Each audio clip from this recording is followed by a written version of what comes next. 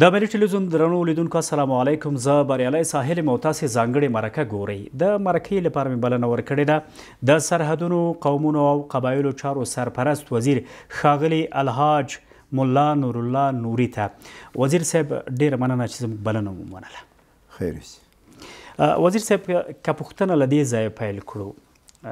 که راشو د افغانستان د پامیر د واخان ولسوالۍ ته هغه سیمه هغه ساحه چې له یوې پیړۍ نه ډېره موده وشوه چې هلته هیڅ چارواکی نه و تللی تاسې لومړی کس یاست چې هلته مو سفر درلود د هغه ځای د خلکو د وضعیت په اړه که لږ وضاحت راکړئ بسم الله الرحمن الرحیم وبه نستعین د بدخشان ولایت او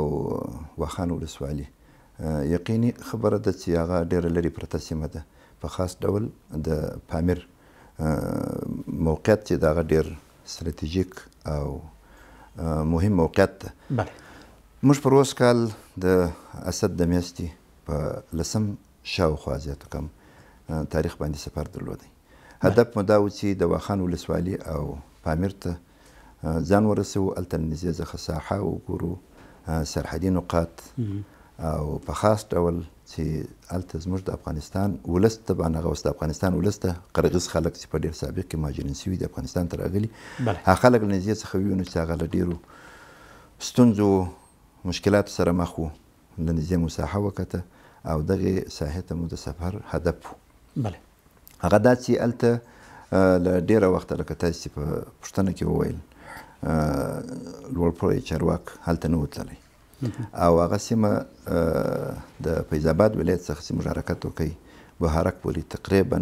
څلوېښت کیلومتره پوخ سړک و له هغه وروسته ته شکاشم پورې شکاشم بله ولسوالي ده تر هغې ولسوالي پورې بیا ځینې پوخ تر ډېره ځینې مات سړک هم وو په هر صورت ماشپین نه بعد موږ شکاشم ولسوالي څخه حرکت وکړ د شپې نه بجې وې چې خندود د واخان د ولسوالۍ مرکز ته ورسېدو هلته مو شپه وکړه سهار هم دغه ځای څخه حرکت وکړ بیا مخکې درې ساعته بعد یو کنډک رالی مخته چې هلته د مجاهدینو موقعیت و د هغه کنډک څخه بیا مو حرکت وکړ تقریبا پنځه ساعته مسافه کې ګازخان ورته وایي ګازخان یوه سیمه ده چې د هغه څخه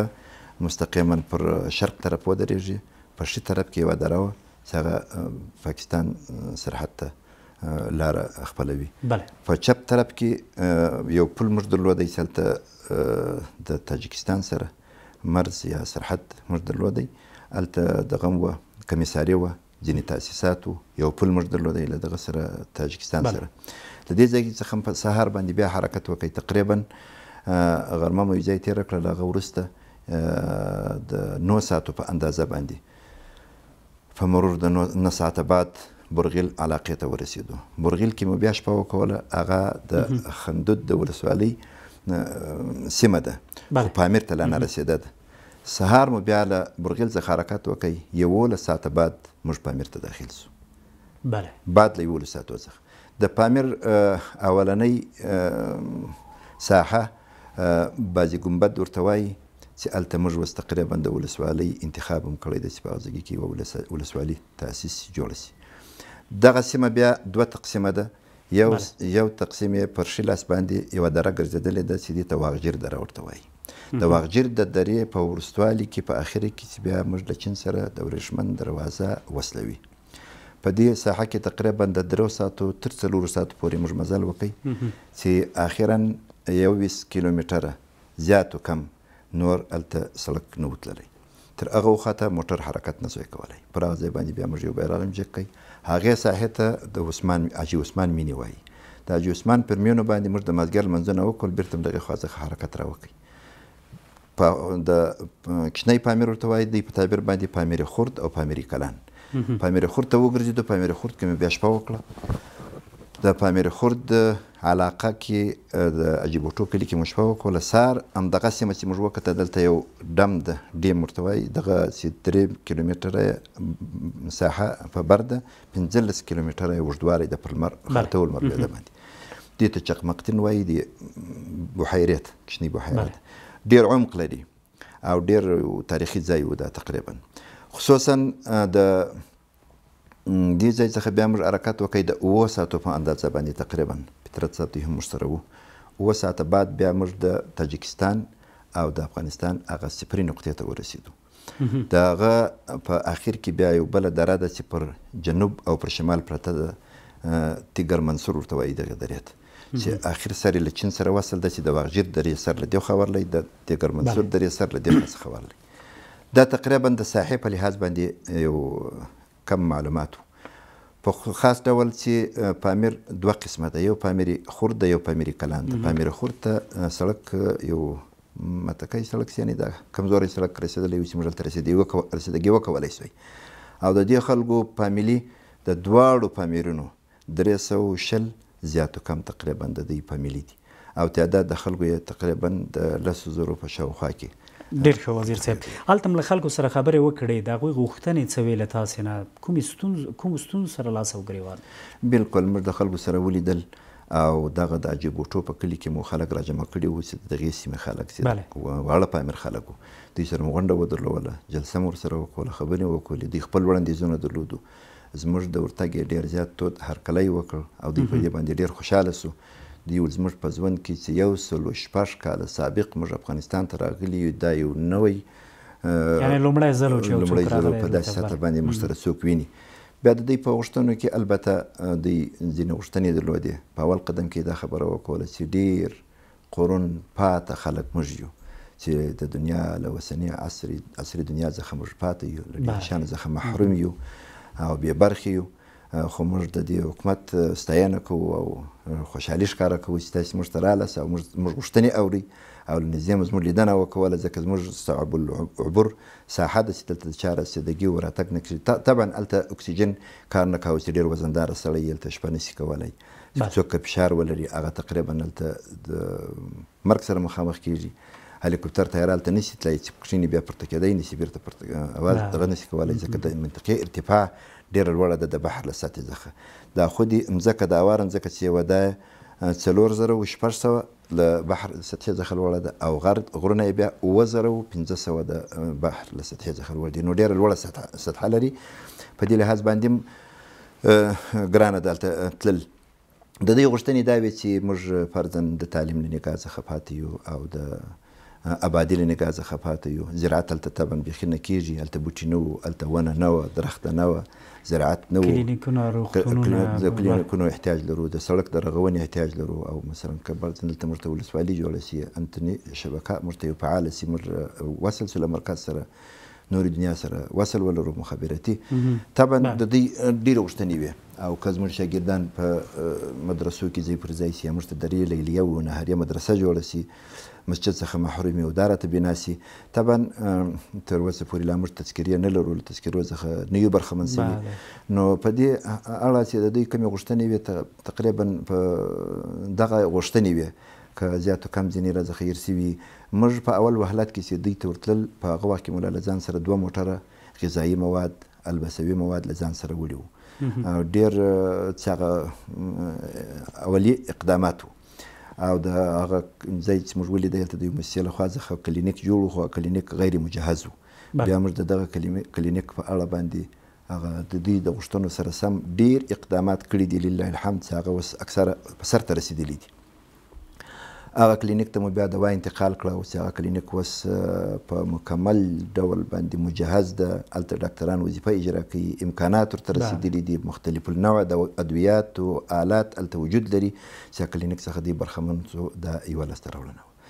د دوی د اوښتنو څخه بعد هلته موږ د مدرسې ډبره کښېښوه چې موږ به دلته ليليه او ډېر ښه. او نهاريه بله. مدرسه جوړوو.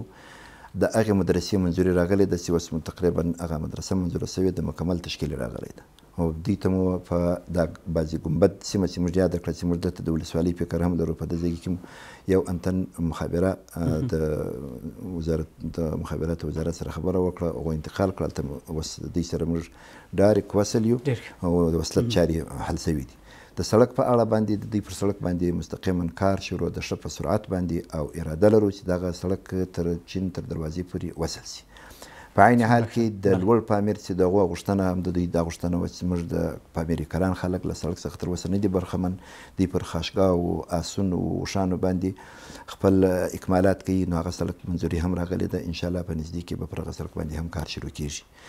او د متعلمینو تقریبا د څلویښتو په تعداد تخمینن موږ د دوی متعلمین را جلب کړو چې په بدخشان او کندوز کې مدرسو کې دوی ته ځای ورکړل هلته ځای پر ځای کړو وس د دوی د خپل ساحې د پاره دوه منظوري راغلي دي یو لیلیه مدر... لیلیه و نهاریه مدرسه چې الته په داخل د پامیر کې به جوړیږي بل لیسه مو د پامیر د لیسې په نوم باندې په بدخشان کې نوې لیسه ایجادوو چې منظوري راغلي ده او او په عین حال کې مو د تذکرو د پاره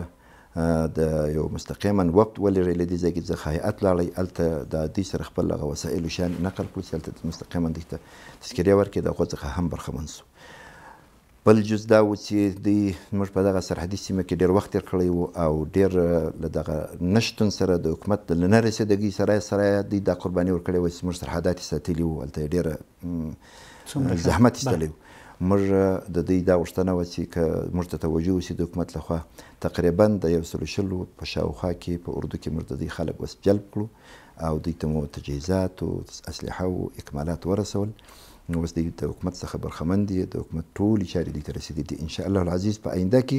حتی که یوه خبره مو یېره نه په دوم قدم کې چې موږ له غزه کې څخه رالو د پنځه څلوېښتو میلیونو افغانیو په ارزښت غذایي مواد، البسوي مواد، سل دانې یوازې خیمې وې، لس موټره غټ موټر چې انم له دې ځایګې څخه ورانتقال کړو دې ته مو ورسول. د پامیر د خلکو د غوښتنو څخه لکه مخکې چې مې درته وویل یو په عموم کې د دوی حالت و، حالت یې ډېر د غربت او د دلسوزۍ و یقیني خبره ده. موږ هلته دوی له نږدې څخه ولیدل. تاسې باور وکړئ تر نن پورې دوی مېوه نه پېژندل. نوم د مېوې، چې قسم د مېوې ده، مېوه دوی نه پېژندله. حتی واړو و ښځو یې پیسه نه پېژندله. د دوی معامله په جنس ده. کورت درکوي، غوړي درکوي او مال درکوي په هغه باندې پر خاشګاو اسونو اوښونو اوښانو باندې دوی دا مالونه دغه کوي دا جنس راکښته کوي لاندې بدخشان سیمو کې غذایي مواد اخلي اوړه او غذا او دا خپل ځای ته نقل کوي تر دغه ځای پورې د دوی د زندګي دا یو نمونه وه که ټول بحث وکړو بحث به دراسي او د دوی د غوښتنو سره لکه مخکې چې څو جزئیات درته ویلي وه غوښتنه یې دا وکړه چې که موږ په نظام کې په خاص ډول سرحداتو وزارت کې یو نماینده ولرو فورا موږ چې دلته زنګ راورساوو، د دوی څخه مو غوښتنه وکوله بیا یو کس د امین الله پامیري په نوم موږ په وزارت کې مشاور وټاکئ چې تر نن پورې هغه د دوی سره ټولې چارې مخ ته وړي، د دوی ستونزې که لا نم نورې ستونزې وي یا دلته موږ کوم فعالیت کوو او فعالیتو ته د دوی په اسانه توګه د ده په توسط باندې موږ رسیدګي کوو. ډیر ښه وزیر صاحب که راشو دې ته یو خو په خپله د پامیر او واخان دغه سیمه وه چې له شک پرته چې د داسې سیمې نه لیدل او خلکو ته لاسرسی دا ډیر ډیره غټه ډیره لوی او تاریخي لاسته راوړنه ده که راشو دې ته وزیر صاحب تاسو حتما د افغانستان نور ولایتونو ته هم سفرونه کړي دي که دغه سفرونو په اړه باندې وویل د دغه سفرونو لاسته راوړنې څه دي خیر اوسي مخکینی سوال په جواب کی که یوه نقطه پاته نه وی هغه یاداشت کوو چی موږ اراده لرو چی د چین سره د ابریشم دروازی د خلاصوالی چی دا ترانزیټی دروازه ده او ډیره مهمه او ډیره با اقتصاده هلته به موږ ان شاء الله العزیز له دغی دروازی څخه ډیری لاسته راوړنی ولرو په اقتصادی لحاظ په سیاسی لحاظ او لکه څنګه چی لله الحمد اسلامی امارت په افغانستان کی نن سراسری ازادیو، استقلال او امنیت ترلاسه کړی چې موږ په افغانستان کې یوه ډبره هم تر خپل تاثیر او تر خپل ازادي لاندې باید ولرو نو دا په آینده کې دا فکره ده انشاءالله العزیز دا دروازه به خلاصیږي امیدونه دې دې امید لرو چې له دې څخه به زموږ تاسې ټول هیوادوان برخمن کیږي او په اقتصاد کې به مو ډیر رشد راځي په خاص ډول د بدخشان خلک راځو تاسې دومې پوښتنې ته چې تاسې د سفرونو څخه څه هدف لری که څه لاسته راوړنی لری. کومو نورو ولایتونو ته مو سفرونه درلودل هلته د هغه ځای لاسته راوړنی څه دی حتما تاسو له خلکو سره لیدلی دی له هغوی سره ناست یاست کومی ستونزی درلودلی او لوی او مهمی لاسته راوړنی مو ددی سفرونو څه دی. موږ طبعا زموږ وزارت چی د سرحداتو وزارت ده یو قومی وو ولسي وزارت ته چې له ولسونو سره باید وویني د ولسونو ستونزې واوري ولسونو ته رسیدګي وکړي موږ یو په داخل د وزارت کې چې کوم جلسې او غونډې لرو له دې بغیر موږ خپل سالانه پلان په ټولو ولایتو کې غونډې او جلسې لرو هدف ځینې دا وي چې موږ هلته له ولسونو سره له نږدې ووینو او د اسلامي امارت پالیسي، د اسلامي امارت اهداف، د اسلامي امارت کړنلارې دوی ته ورسوو. په عین حال کې د افغانستان جنګ ځپلی ملک ته زموږ او ستاسې ولسونه تر اوسه پورې ډېرې ستونزې و دردونه لري. غواړو چې له دوی سره له نږدې ووینو، که دوی رسېدګي نه شي کولای، موږ رسېدګي ورته وکړو د دوی ستونزو ته او دا زموږ یوه ذمه وري ده، یوه فریضه ده. موږ د دوی سره هلته له نږدې څخه وینو که د دوی قومي شخړي یا مقصد د اشخاصو د قومونو د خلکو تر مابین قتلونه سوي مشکلات را مابین ته سوي ډیر کار په دې هکله سوی ده انشاءالله العزیز د دې دوه کلو د دې دوه کلو په اوږدو کې دي تقریبا موږ یو سلو دیرس وړې شخړي او درې سوه یو سل او دېرش غټې شخړې او درې سوه وړې شخړې د ټول ملک په سطحه باندې حل کړې دي. د دې مانا دا ده چې موږ خلکو ته رسېدګي کړې ده او له خلکو سره وینو او د خلکو ستونزې اورو، د خلکو مشکلاتو ته رسېدګي کوو او په عین حال کې لرې پرتې سیمې دي هغه و مرکزي مرکز ته رسېدګي نه شي کولای. موږ رسېدګي باید وکړو، دوی ته د دوی ستونزې واورو، مثلاً په صحي لحاظ، د. غذايي لحاظ مثلا ځینې خلک د سړک ستونزې لري، ځینې خلک د تعلیم ستونزې لري، په هر بخش کې چې خلک ستونزې لري موږ د ستونزې له نږدې څخه اورو او زی دخل ارګانو ته رسوو. او تر اوسه پورې کوم ولایتونو ته مو سفرونه کړي؟ موږ د تیر کال په اوږدو کې که دوه ولایته راڅخه پاتې شوي یا درې نور هم په ټولو ولایتو ته رسیدګي وکړه، په ټولو ولایتو باندې مو وګرځیدو او سرحدات موږ څخه نه دي پاتې شوي چې هغه که موږ رسمي دروازې ولرو که غیر رسمي دروازې ټولو ته مو رسیدګي کړې ده چې له نږدې څخه د خپلو سرحداتو څیړنه هم وکړو او په عین حال کې له ولسونو سره هم وګورو. ډیر ښه وزیر صاحب په تیر کې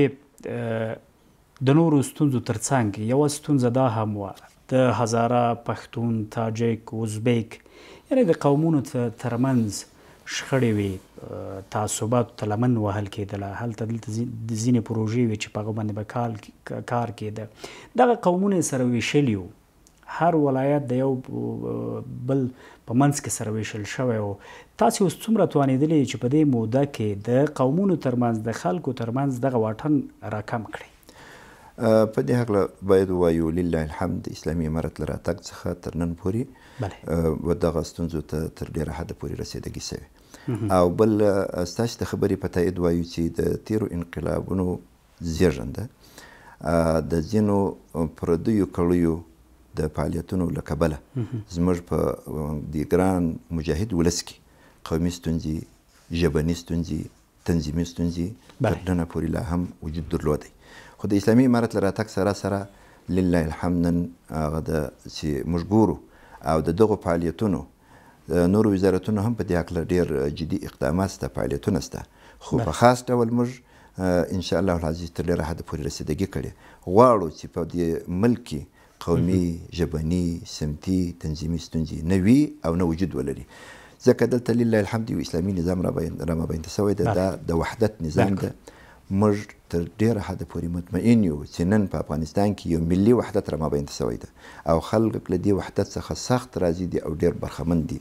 هغه ستونزې لکه مخکې چې مې درته وویل چې د خلکو دا قومي ستونزې وې، مثلاً د یوه قوم او د بل قوم ترمنځ د یوه. اوس که د دې نه اشاره وکړو وزیر صاحب، یو ډېره غټه شخړه چې مرګ ژوبله هم په کې ورته اوښتې او د کوچیانو او د هزاره ګانو ترمنځ زموږ هېوادوال چو. راځو په کراتو دغه مشکل ډیر لوی ده حتی دواړو خواو ته به درنه مرګ ژوبله وختله خو بیا به هم په تیر کې ستونزې دا وي چې دغه مشکل نه حل کیده دغه مشکل هم څومره حل کړی تاسو دا مشکل بیخي د تقریبا د صفر تر درجه پورې حل شوی دی لله الحمد موږ په دې کې شک نشته چې دلته د هزاره وروڼو او د کوچانو وروڼو تر مابین ستونزې وې او قتلونه سوي دي، مرګونه سوي دي، تجاوزات سوي دي، ډېرې ستونزې او مشکلات را مابین سوي دي، خو زموږ د رسیدګۍ سره سم له هغه وروسته تر نن پورې زه په دې مطمئن یم چې یو چا به څوک په چاپلاغه هم نه یې وهلی. موږ په درو ولایتو کې دوی ته کمېسیونونه، مشترک کمېسیونونه جوړ کړي دي، بامیان، میدان وردګ، غزني،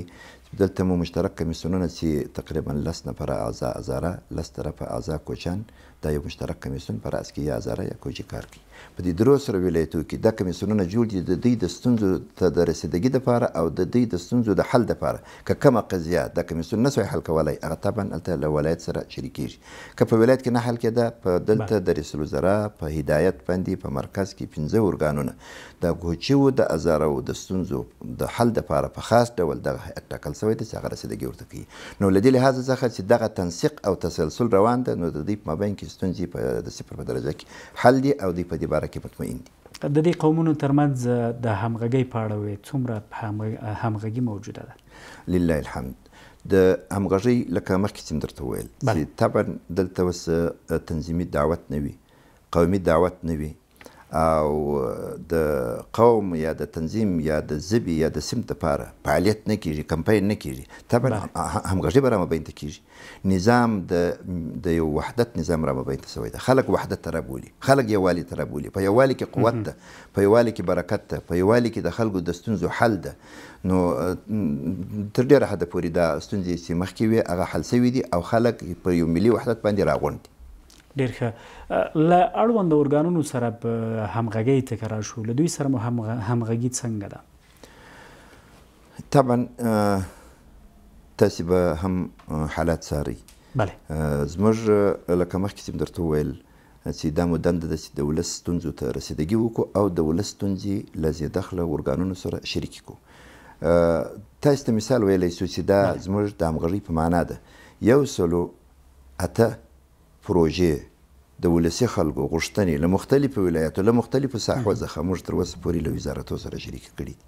په هغو کې تقریباً اته، اته ویشت پروژې تکمیل شوې دي، لاندې تر فعالیت دي. د دې مانا دا ده چې موږ د ارګانونو سره همغږي لرو او پر دغه همغږي باندې کار کوو. ډېر ښه. که راشو دې ته چې هغو خلکو ته چې هغه پخوا یې افغانستان وېشلی و، تقسیم کړی و، په قومونو باندې ویشلی و ژبني تعصب ته هم مخکې هم یادونه وشوه ده ته هم لمن وهل کېدله هغو نړیوالو ته هغو هیوادونو ته چې تل غوښتل چې افغانستان سره وپاشل شي وویشل شي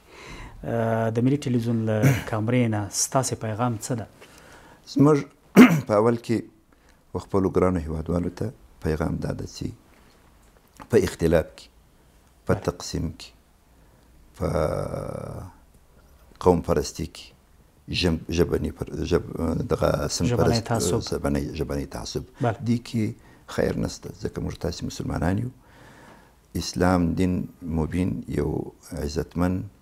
او یو د وحدت او محبت او واحد دین ده چې د دې دین تر سوري لاندې د دې دین په چوکاټ کې که موږ زندگی وکړو موږ به تل بریمن کامیاب او فاتحین یو ان شاء الله العزیز افغانستان ټول وخت وحدتونو ساتلی دا چې چا اختلافونه ورته راوړي دي هغه به البته نور فکرونه وو نور مو د خپل ملت ته پیغام دا ده چې د اسلامي نظام تر چتر لاندې د اسلامي نظام په حمایت کې، د اسلامي نظام په تائید کې ودریږي، لکه څنګه چې ولاړ وو. او د دې ولسونو د دریدلو ښکارندوی دا ده چې اته څلوېښت مملکته په سر کې امریکا په افغانستان کې ماته خوري، د دې مانا دا ده چې دلته یو وحدت وو او دغه وحدت ته نور رشد ورکول شوی او رشد به ورکول کېږي. نړیوالو ته زموږ پیغام دا ده چې د افغانستان کې چې اوس کوم اسلامي امارت یو نظام ده،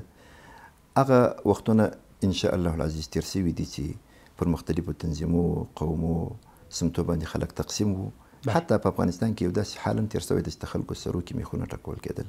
داسي حال تیر سوی ده چي ژوندي خلک تر خاورو لاندي کیدل. نو نړیوالو ته مو پیغام دا ده چي د افغانستان د جوړښت هڅه وکړي. د افغانستان په چارو کي مداخله ونه کړي. د افغانستان په حق کي با انصافه ونه سي. انصاف دې ولري د افغانستان اوسنی حکومت چې اسلامي نظام د اسلامي امارت ده د افغانستان د جوړښت د افغانستان د بهبود د افغانستان د بقا د افغانستان د پر پښو درولو د افغانستان د اقتصاد د پرورښت لپاره مکمل مصمم ده شپه ورځ تاسو د د میډیا تعقیبوي چې په کوم اندازه کې د اسلامي امارت لره تک سره سره څخه بعد څومره اندازه کې پروژې دلته افتتاح شوې دي افغانستان مخ روان ده جوړښت ته روان ده نور نړیوال دي افغانستان ته د یو با صلاحیت او مرکزی مستحکم حکومت په نظر وګوري او د افغانستان د ولسونو او د افغانستان په حق کې دي بی انصافي نه کوي ډیر ښه وزیر صاحب تاسو د قومونو د یووالي په موخه سیمینارونه هم جوړ کړي دي بیلابیل ولایتونو کې کله دغه سیمینارونو په اړه په اړه باندې وایي دغه د پرمختګونو د لاس راوړنو په اړه هم لږ وضاحت راکړي طبعا کېدای شي په مخکې سوالو کې هم دغې خبرې ته یو اندازه جواب ویل شوی وي. موږ په ولایتو کې غونډې لرو، تېر کال مو ټول ولایتونه وکتل، تقریبا درو یا څلور ولایتو ته به ما رسیدګنې یې کړې، زموږ د وزارت لوړپوړي چارواکي چې هغه د وزارت معین ده، د جرګو معین، د هغه په هغه اپاراس کې د ولایتو کې غونډې کوي، له خلکو سره ویني، سیمینارونه کوي، مجلسونه کوي. دا لړۍ مو تیر کال پای ته ورسیده سږ کال بیا روانه ده له شماله ځخه فاریغ سو مرکزي ولایتو ځخه فاریغ یو اوس به نورو ولایتو ته رسیدګي کوو سي نورو ولایتو کي هم همدغه غونډي او ستونزي دغه مجلسونه ولرو او د خلګو ستونزي چي تیر کال مو اوریدلي دي تر کومه حده رسیدګي سوې اوس له دې بعد ځخه کومي ستونزي لري چي هغو ته بیا رسیدګي وکړو. ډېر ښه. که د راتلونکو پلانونو په اړه باندې هم ووایئ، څه پلانونه لرئ؟ یو ټکی مخکي ستاسي په خبرو کي د سوال یوه حصه دا وه چې ګاونډي هیوادو ته بله. یا نورې نړۍ ته ستاسې پیغام څه ده؟ ګاونډي هیوادونه زموږ همسایګان او ګاونډي هیوادونه دي. موږ غواړو چې له خپلو ګاونډیو سره حسنه روابط ولرو او هیڅ قسمه ستونزه ایجاد نه شي. د هیڅ قسمه ضرر او ستونزې او ایجادولو اراده نه لرو. اسلامي نظام یو مبین، د اسلامي د دغه ترحم او وروري او وحدت او سوکالي او د ښې زندګۍ دین ده نو